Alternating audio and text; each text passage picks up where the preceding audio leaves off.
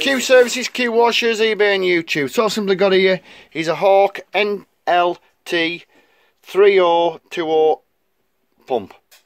What it's simply got here, this pump is capable of running at two different RPM speeds. You've got the 1450 RPM where it's delivering 30 litres at 200 bar. You've got the actual 36 litres when it's running at 40, 1740 and that's also doing 200 bar, obviously nozzle correctly. Obviously kilowatts, obviously the more it's running obviously you need to correct to make sure you've got the right kilowatt motor if you're running on a motor and not onto a different system like an engine or a, a gearbox something like that. Oil sighting glass at the back and the bung to drain the oil itself. Brass head. And like I say this pump is 200 bar and it can be run at 30 litres. If it's running at 1450 rpm or if it's running at 1740 it will then deliver 36 litres per minute and like I say that is the NLT Hawk pump. Thank you much Q Services Q Washers eBay and YouTube and that is a 24mm male shaft.